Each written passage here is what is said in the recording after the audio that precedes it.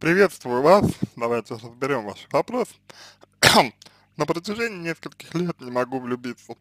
Заметила за собой эту интересную вещь. Мне кажется, что никто не сможет ничего дать такого, чего бы, чего бы надо было бы от другого человека. Я могу дать многое, взамен получая то, что могла бы держать в отношениях и перерасти в любовь могло бы держать в отношениях и перерасти в любовь. Как психолог видит такую ситуацию, можно ли, может ли это вытекать из самостоятельности и самодостаточности. Я почти со всеми чувствую себя одиноко, а так реально начинаю понимать то, что не понимают люди моего возраста и даже старше. Это проблема или как с этим быть?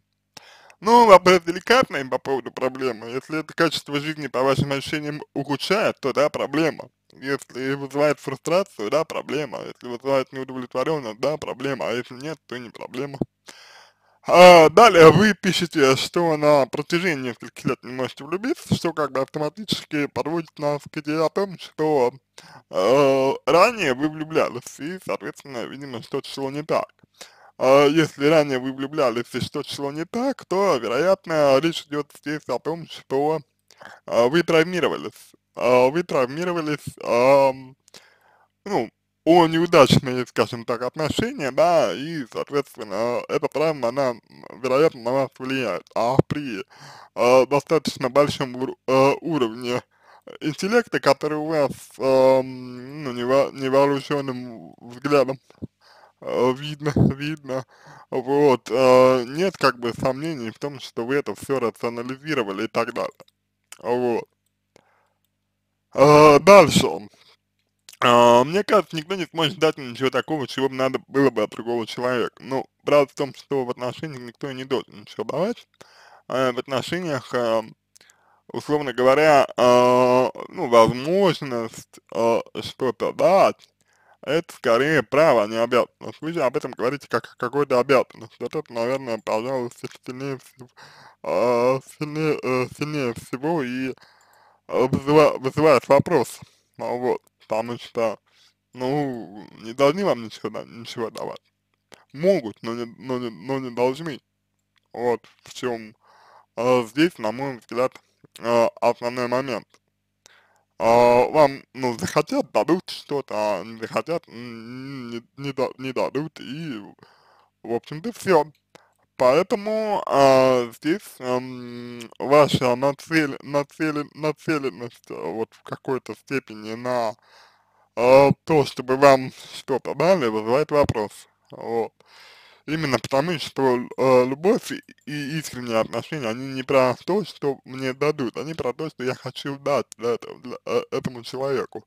А это вытекает из вашего его восприятия. Можете вы, вы воспринимать человека как личность, можете увидеть вы э, ценность его личности и вам, и вам, естественно, сразу захочется что-то что, -то, человеку дать, что-то что, -то, для человека сделать. Если вы не видите в человеке личность, если вы не способны увидеть ценность личности, то, то вам и делать ничего для него не захочется. Это нормально. Поэтому э, на этот момент тоже хотелось бы обратить ваше внимание. Дальше. А если мы говорим, например, о том, э, вот, ну, допустим, если мы говорим о том, э, как а, отношения, да, и почему а, человек может, может не, а, ну вот, не видеть а, личность в другом, да, то, на мой взгляд, на мой взгляд, проблематика этого заключается в том, что вы не видите ценность в себе.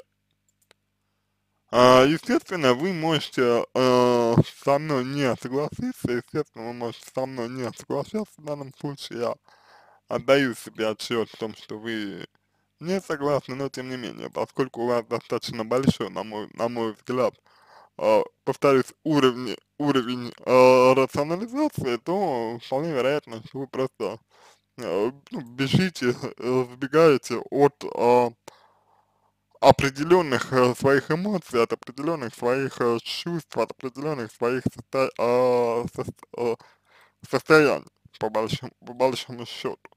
Ну вот, если это так, если это правда, то вот нам э, в первую очередь нужно работать именно с, с этими аспектами. Понимаете, да? Э, дальше идем, э, значит, я могу дать много, но хотите ли?